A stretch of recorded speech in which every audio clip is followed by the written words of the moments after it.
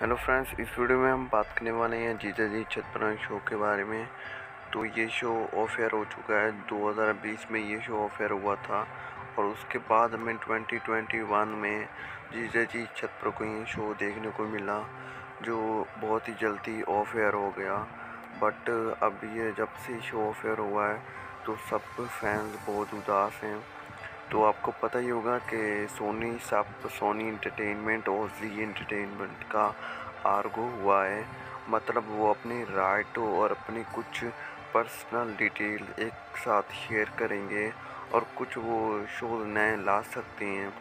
तो फ्रेंड्स बात की जाए चीता जी छतरौई शो के बारे में तो फ्रेंड्स मुझे लगता है कि ये शो ना जी टी पर आ सकता है।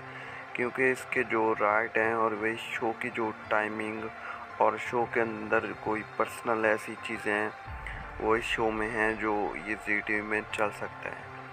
तो जीजे जी छत पर कोई यही शो तो मुझे लगता है ये अब आएगा, क्योंकि फ्रेंड्स सोनी सबने इतने अच्छे अच्छे शो ऑफेयर करके अच्छा नहीं किया, जैसे बाल रिटर्न अलादीन और अब जीते जी छत पर कोई शो ऑफेयर हो चुका है।